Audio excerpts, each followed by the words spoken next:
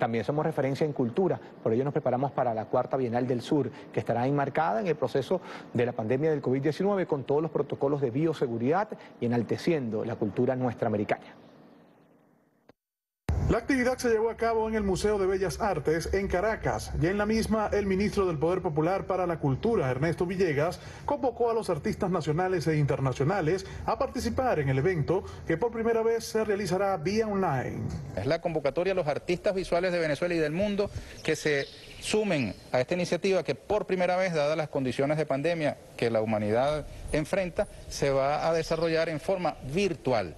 Desde esta fecha hasta el mes de enero estarán recibiendo las propuestas eh, nuestros compañeros organizadores que van a someter cada una de las obras postuladas a una evaluación integral para hacer la selección respectiva. Y además tenemos una muy buena noticia que para los artistas visuales venezolanos va a haber una premiación de aquella obra que a juicio de los evaluadores resulte la más destacada. Asimismo, Villegas destacó que el evento abrirá su fase expositiva virtualmente el 24 de junio del año 2021. Vamos a garantizar la tradicional participación internacional eh, en la Bienal del Sur y va a instalarse, abrir su fase expositiva por medios virtuales el 24 de junio del año 2021 y está obviamente enmarcada en la celebración que ese día habrá llegado a su clímax en Venezuela cuál es la del bicentenario de la batalla de Carabobo. Por su parte, representantes de las artes y la cultura en la ciudad de Caracas destacaron la importancia del más grande evento virtual de la historia artística y cultural de Venezuela. La convocatoria para los artistas venezolanos comienza el día de hoy, 28 de octubre, y va a estar abierta hasta el día 8 de enero.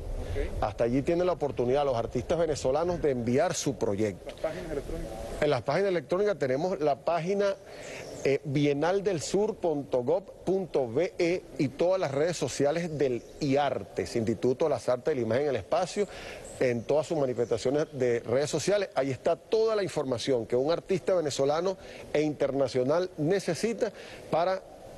Eh, consignar su proyecto para esta importantísima bienal, que además, hay que decirlo, es el evento de artes visuales más grande de Venezuela. Nos sumamos en el sentido de colaborar a través de nuestras actividades, a través de nuestra colección, nuestros museos esperamos el año que viene tener eh, estar completamente abiertos y que el público pueda venir a visitarnos como siempre lo ha hecho en nuestras salas expositivas y tenemos, eh, vamos a mostrar nuestra colección referente a lo que es no solamente la bienal, sino eh, los 200 años del bicentenario la batalla de Carabobo.